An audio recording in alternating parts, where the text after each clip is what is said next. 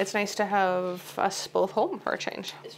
Managing work and family is now more complicated for Sherry and Alyssa Monk. The couple says after work became unbearable, they had to quit their paramedic and firefighter jobs in a small Alberta town. If you are not in the closet and hiding it, you are seen as flaunting it. They say the then deputy chief told them they were making colleagues uncomfortable. The conversation started with this isn't because you're gay, but there are some people that will never accept same sex marriage and are offended by the use of the word wife. We asked, would this apply to everybody? We were one of five married couples on the department.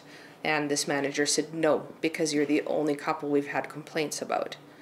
We were also the only gay one. They started recording meetings with managers. I think public displays of affection, whether that's physical or verbal, are stand out more.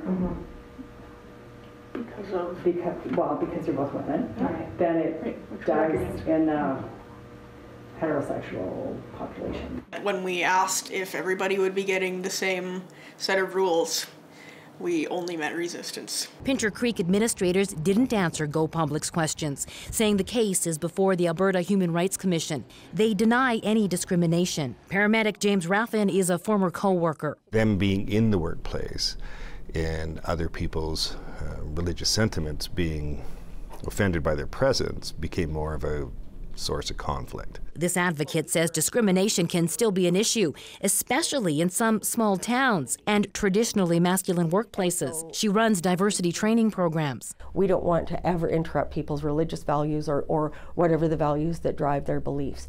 But you actually can't openly discriminate against LGBTQ people in Canada. The monks say they struggled financially for months. Their human rights complaint could take years to resolve. Rosa Marchitelli, CBC News, Calgary.